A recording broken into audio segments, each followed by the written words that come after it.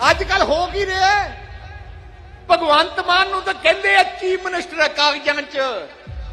ਪਰ ਤਿੰਨ deputy CM ਹੈ ਮਾਤਾ ਜੀ, ਭੈਣ ਜੀ ਤੇ ਹਾਂਜੀ। ਭਾਬੀ ਜੀ।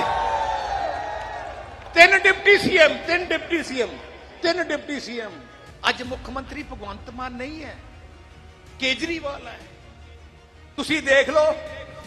ਜੇ ਕਿਤੇ ਸਕੂਲ ਦਾ ਰੰਗ ਰੁੰਗ ਕਰਕੇ ਉਦਘਾਟਨ ਕਰ ਦਿੰਦੇ ਆ, ਭਗਵੰਤ ਮਾਨ ਤਾਂ ਨਹੀਂ ਕਰਦਾ, ਕੇਜਰੀਵਾਲ ਨੂੰ ਬੁਲਾਉਂਦੇ ਆ। ਇੱਥੇ ਪਟਿਆਲੇ ਹੁਣੇ ਹਸਪਤਾਲ ਦੇ ਨੌ ਦੋ ਮੰਜੇ ਵੱਧ ਲਾਤੇ ਤੇ ਉਦਘਾਟਨ ਕਰਨ ਵਾਸਤੇ ਕਿਹਨੂੰ ਬੁਲਾਇਆ?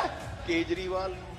ਵਪਾਰੀਆਂ ਦੀ ਮੁਸ਼ਕਲਾਂ ਸੁਣਨ ਵਾਸਤੇ ਮੁੱਖ ਮੰਤਰੀ ਪੰਜਾਬ ਭਗਵੰਤ ਮਾਨ ਨਹੀਂ ਆ ਗਿਆ।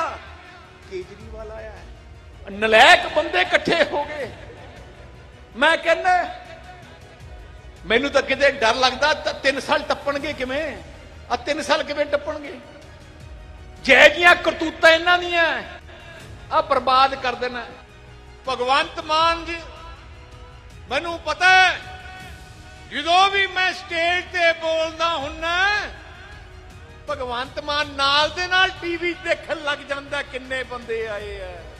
ਐਸ ਕਰਕੇ ਕੈਮਰੇ ਵਾਲਿਓ ਆ ਕੱਟ ਤਰਫ ਕੈਮਰਾ ਕਰਕੇ ਦਿਖਾ ਦਿਓ।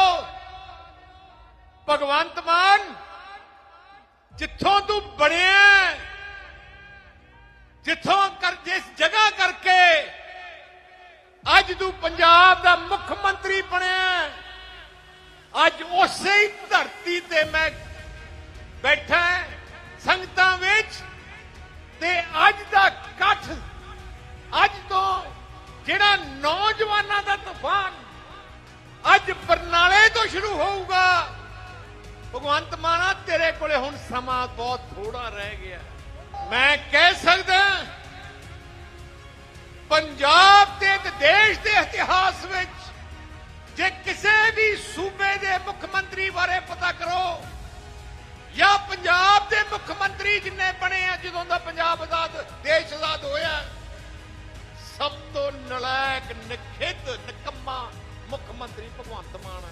ਸ਼ਰਮ ਆਉਂਦੀ ਹੈ, ਕਹਿੰਦੇ ਆ ਸਾਡਾ ਮੁੱਖ ਮੰਤਰੀ ਹੈ, ਸ਼ਰਮ ਆਉਂਦੀ ਹੈ। ਆ ਮੁੱਖ ਮੰਤਰੀ ਕਹਿਣ ਦੇ ਲਾਇਕ ਨਹੀਂ। ਇਹਨਾਂ ਨੇ ਦੇਖ ਲਿਆ ਕਿ ਹੁਣ ਗੱਲ ਖਰਾਬ ਹੋ ਰਹੀ ਹੈ, ਇਹਨਾਂ ਤੀਜੀ ਵਾਰ ਅਕਾਲੀ ਦਲ ਨੇ ਆ ਦੇਣਾ ਝੂਠ ਤੇ ਝੂਠ ਬੋਲਣ ਲੱਗ ਗਏ। ਕਿਤੇ ਬੇਅਦਬੀ ਦਾ ਗੱਲ ਕੀਤੀ, ਕਿਤੇ ਹੋਰ ਕੁਝ ਗੱਲ ਕਰਤੀ, ਨਸ਼ੇ ਦੀ ਗੱਲ ਕਰਤੀ। ਤੇ ਅੱਜ ਕੀ ਹਾਲਾਤ ਹੈ? ਅੱਜ ਜਿੰਨਾ ਨਸ਼ਾ ਵਿਚ ਰਿਹਾ ਜੇ ਘਰ ਘਰ ਨਸ਼ਾ ਵੇਚਿਆ ਜਾ ਰਿਹਾ ਹੈ, ਇਹਦਾ ਵੱਡਾ ਕਾਰਨ ਇੱਕ ਹੈ। ਮੈਂ ਅਫਸਰਾਂ ਨੂੰ ਪੁੱਛਿਆ, ਜਿਹੜੇ ਮੇਰੇ ਟਾਈਮ ਦੇ ਸੀ, ਮੈਂ ਕਿਹਾ, ਅੱਜ ਨਸ਼ਾ ਕਿਉਂ ਵਿਕ ਰਿਹਾ ਹੈ? ਇੰਨਾ ਜ਼ਿਆਦਾ, ਇੰਨਾ ਜਾਣਾ ਤਾਂ ਕਿਤੇ ਵੀ ਨਹੀਂ ਦਿਖਿਆ ਵਿਕਿਆ ਜਿੰਨਾ ਹੁਣ ਵਿਕ ਰਿਹਾ ਹੈ। ਮੈਨੂੰ ਨੇ ਅਫਸਰਾਂ ਨੇ ਕੀ ਕਿਹਾ? ਕਹਿੰਦੇ ਜੀ, ਅਸੀਂ ਕੀ ਕਰੀਏ? ਜਿਹੜੇ ਆਮ ਆਦਮੀ ਪਾਰਟੀ ਦੇ ਐਮਐਲਏ ਆ ਉਹ ਮਹੀਨਾ ਬੰਨ ਲਿਆ ਸਮਗਲਰਾਂ ਨਾਲ।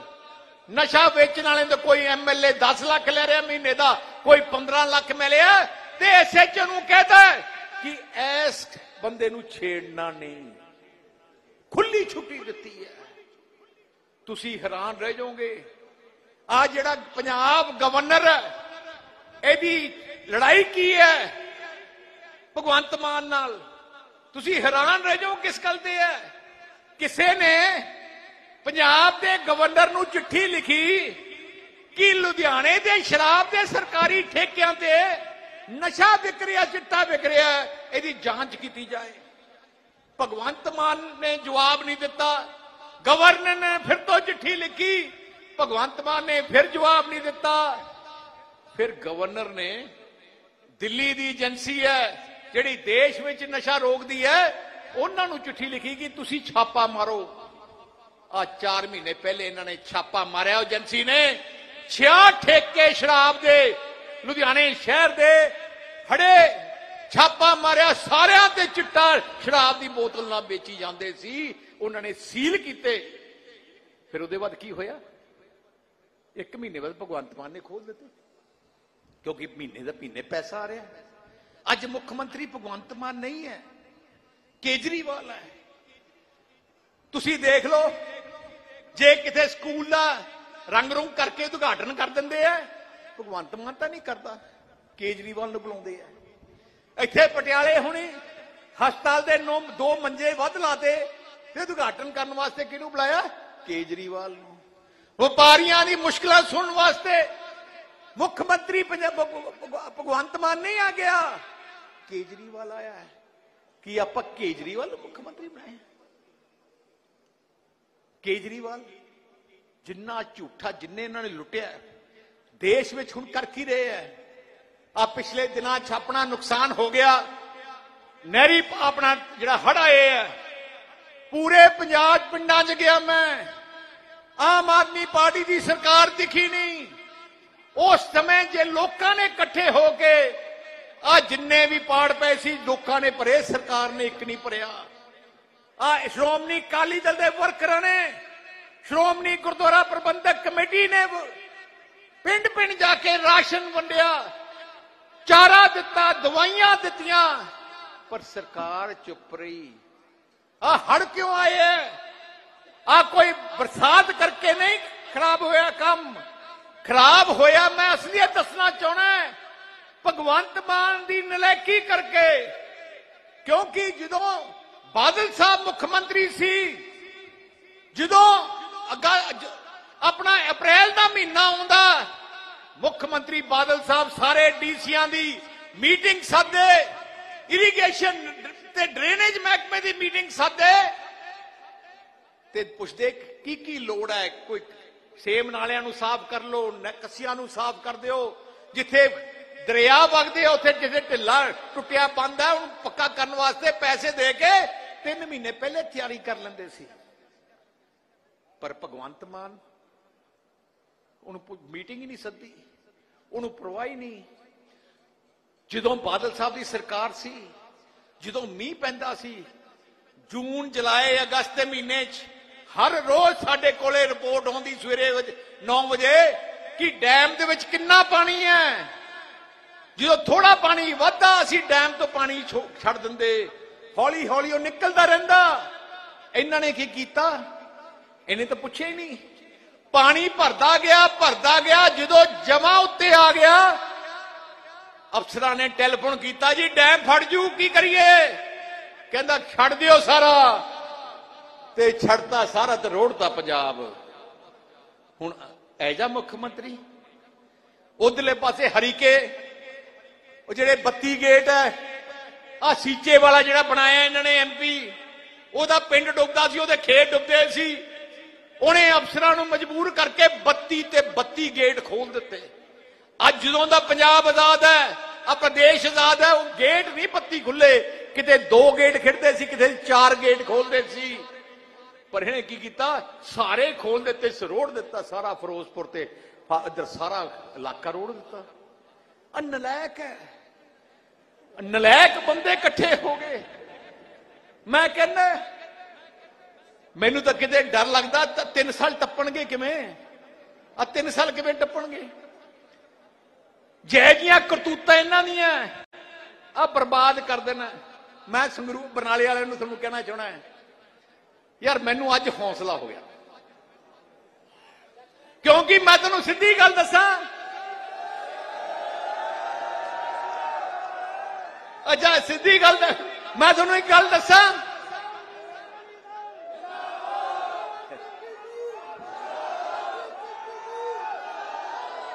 ਆ ਜਿਹੜੀ ਆ ਝਾੜੂ ਵਾਲਿਆਂ ਦੀ ਬਿਮਾਰੀ ਆ ਨਾ, ਆ ਝਾੜੂ ਵਾਲਿਆਂ ਦੀ ਬਿਮਾਰੀ। ਓਏ, ਸ਼ੁਰੂ ਇੱਥੇ ਹੀ ਹੋਈ ਸੀ। ਐਕਟੀ ਹੈ ਜੀ ਸਪਰੇ ਕਰ ਦਿਓ ਨਾ, ਕਿ ਜਮਾਂ ਜੜੋਂ ਖਾੜ ਦਿਓ। ਜੇ ਤੁਸੀਂ ਖਾੜ ਦਿੱਤੀ ਤਾਂ ਪੰਜਾਬ ਤੋਂ ਉੱਡ ਜਾਣੀ ਹੈ। ਆ ਮੈਂ ਤੁਹਾਨੂੰ ਦੱਸਾਂ ਤੁਸੀਂ ਪੰਜਾਬ ਦਾ ਭਲੇ ਦਾ ਕੰਮ ਕਰੋਗੇ ਆਪਣੇ ਪੰਜਾਬ ਨੂੰ ਬਚਾਉਣ ਦਾ ਕੰਮ ਕਰੋਗੇ ਜੇ ਇਹ ਬਿਮਾਰੀ ਖੜ ਦਿਓ ਭਗਵੰਤ ਮੰਦ ਕਹਿੰਦਾ ਕੀ ਹੁੰਦਾ ਸੀ? ਤੇ ਹੁਣ ਕਰਦਾ ਕੀ ਹੈ? ਕੀ ਕਹਿੰਦਾ ਹੁੰਦਾ ਸੀ? ਹਰਾ ਪੈਨ ਹੈ ਉਹਦੇ ਕੋਲੇ। ਹਰਾ ਪੈਨ ਹੈ। ਮੈਂ ਪਿੰਡਾਂ ਛੂੰਗਾ ਹਰੇ ਪੈਨ ਨਾਲ ਤੁਹਾਡੇ ਹੱਕ 'ਚ ਫੈਸਲੇ ਕਰੂੰਗਾ। ਉਹ ਕਿੱਥੇ ਗਿਆ? ਹਰਾ ਪੈਨ ਕਿੱਥੇ ਗਿਆ? ਭਗਵੰਤ ਮਾਨ।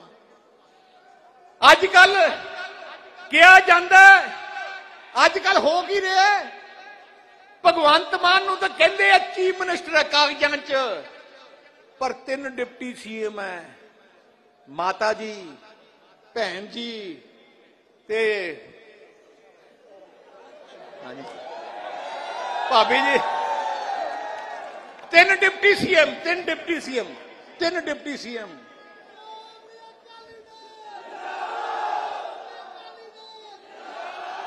ਇਸ ਕਰਕੇ ਮੈਂ ਨੌਜਵਾਨਾਂ ਨੂੰ ਦੱਸਣਾ ਚਾਹਣਾ ਹੈ, ਤੁਸੀਂ ਵਾਪਸ ਆ ਜਿਹੜੇ 10 ਸਾਲ ਖਰਾਬ ਹੋ ਗਏ, ਅੱਗੇ ਤੋਂ ਨਾ ਮੌਕਾ ਕਿਸੇ ਨੂੰ ਦਿਓ।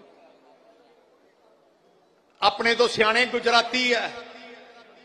ਜੋ ਮਰਜ਼ੀ 25 ਸਾਲ ਹੋ ਗਏ, ਮੋਦੀ ਦਾ ਖੇੜਾ ਨਹੀਂ ਛੱਡਦੇ, ਉਹਨੂੰ ਪਤਾ ਹੈ ਮੋਦੀ ਨੇ ਸਾਰਾ ਕੁਝ ਬਣਾਇਆ ਹੈ। ਆਪਣੇ ਤੋਂ ਸਿਆਣੇ ਦੂਜੇ ਸੂਬੇ ਵਾਲੇ ਆ ਜਿਹੜਾ ਦੇਖਦੇ ਆ ਕਿ ਕਿਹੜੀ ਆਪਣੀ ਪਾਰਟੀ ਹੈ, ਕਿਹੜੀ ਬਾਹਰ ਦੀ ਹੈ। ਜੇ ਸਾਰਾ ਕੁਝ ਹੀ ਸ਼੍ਰੋਮਣੀ ਅਕਾਲੀ ਦਲ ਤੁਹਾਡੀ ਖੇਤਰੀ ਪਾਰਟੀ ਨੇ ਕੀਤਾ ਜੇ ਤੁਹਾਡੀ ਬਾਹ ਫੜੀ ਹੈ, ਤੁਹਾਡੀ ਲੜਾਈ ਲੜੀ ਹੈ, ਤੁਹਾਡਾ ਪਾਣੀ ਬਚਾਇਆ ਤੇ ਫਿਰ ਆਪਾਂ ਇਸ ਪਾਰਟੀ ਨੂੰ ਕਮਜ਼ੋਰ ਕਰ ਦਾਂਗੇ ਤੇ ਨੁਕਸਾਨ ਆਪਣਾ ਹੀ ਹੋਣਾ ਜੇ ਕਿਸੇ ਸੂਬੇ ਦੀ ਫੌਜ, ਦੇਸ਼ ਦੀ ਫੌਜ ਤਕੜੀ ਹੋਏ ਉਸ ਸੂਬੇ ਤੇ ਕੋਈ ਹਮਲਾ ਨਹੀਂ ਕਰ ਸਕਦਾ। ਅਮਰੀਕਾ ਤੇ ਕੋਈ ਹਮਲਾ ਨਹੀਂ ਕਰ ਸਕਦਾ। ਸ਼੍ਰੋਮਣੀ ਅਕਾਲੀ ਦਲ ਤੁਹਾਡੀ ਫੌਜ ਹੈ। ਆ ਤਿੰਨੇ ਪਾਰਟੀਆਂ, ਆ ਬੀਜੇਪੀ, ਆਮ ਆਦਮੀ ਤੇ ਕਾਂਗਰਸ ਦਿੱਲੀ ਦੀਆਂ ਪਾਰਟੀਆਂ ਤੇ ਤੁਹਾਨੂੰ ਹੋਰ ਖੁਸ਼ਖਬਰੀ ਦੇ ਦੇਣਾ ਆ ਦੋ ਚੋਰ ਇਕੱਠੇ ਹੋ ਗਏ ਆ ਆਹ ਅਗਲਾ parliament election, Aam Aadmi party ਤੇ ਕਾਂਗਰਸ ਇਕੱਠੇ ਹੋ ਕੇ ਲੜ ਰਹੇ ਐ ਸੱਤ ਸੀਟਾਂ ਤੇ ਆਮ ਆਦਮੀ ਪਾਰਟੀ ਲੜੂਗੀ। ਤੇ ਸੱਤ ਸੀਟਾਂ ਚੰਡੀਗੜ੍ਹ ਨੂੰ ਮਿਲਾ ਕੇ ਕਾਂਗਰਸ ਲੜ ਰਹੀ ਹੈ ਦੇਖੋ ਆਹ ਹਾਲਾਤ ਆ ਗਏ ਮੈਂ ਤੁਹਾਨੂੰ ਦੱਸਣਾ ਚਾਹਣਾ ਤੁਹਾਡੀ ਖੇਤਰੀ ਪਾਰਟੀ ਕੱਲੀ ਲੜੂਗੀ ਤੁਹਾਡੇ ਸਿਰ ਦਾ ਸਿਰ ਦੇ ਸਿਰ ਤੇ ਹੱਥ ਰੱਖ ਦਿਓ ਸਾਰਿਆਂ ਨੂੰ ਤੇ ਨੈਸ਼ਨਲ ਪਾਰਟੀਆਂ ਨੂੰ ਪੰਜਾਬ ਤੋਂ ਬਾਹਰ ਭਜਾ ਕੇ ਸਿੱਟਾਂਗੇ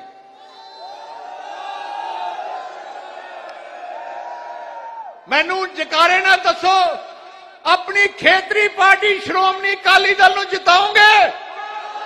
ਜਿਤਾਉਂਗੇ?